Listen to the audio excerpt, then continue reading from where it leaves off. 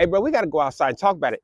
Coincidentally, no cap, we are literally two a car. There's like three, four, five, six. There's like apartment complexes on both sides of the street that we live on. Heck of them back to back, different apartment complexes. Coincidentally, we are two apartment com no one, two, three apartment complexes from where he dog walked me in the courtyard. We three apartment complexes from that one. I said, yeah, bro, you remember uh back about four years ago, bro, when we had the little get down with me, you, and Ben? He like, oh man, we was youngsters, man. I, know, I was like, nah, bro, I need that. I need that right now.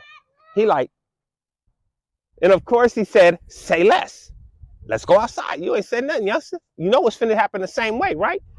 We finna figure all that out. I promise you, when I tell you this man never touched me once. Because first of all, he's like 5'9, 5'10, 150, 160. I'm 6'2, 200. He took the first swing. I picked him up, dumped him on his neck on the grass, and got on him, right? Drug him all around the grass of the whole courtyard. And then when we was done, I helped him up and went and bought a, and went and bought a bottle of Jose Cuervo Gold. So the, the moral of this story, the moral of this story is careful what you do to people now because you never know if they might catch you later, man.